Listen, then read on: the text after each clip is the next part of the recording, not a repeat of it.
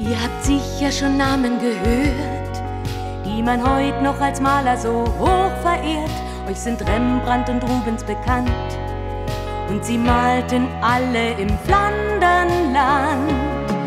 Einer wollte so werden wie sie, so ein unvergessliches Malgenie, was man heut noch in Flandern erzählt, sind die Abenteuer, die er erlebt. Aus Flandern, Niklas, der Junge aus Flandern, wir wollen heute wieder ein Stück mit dir gehen. Wir wollen dich und deine Zeit verstehen. Niklas, der Junge aus Flandern, Niklas, der Junge aus Flandern, wir warten gespannt, was heute wieder passiert. Ob er gewinnt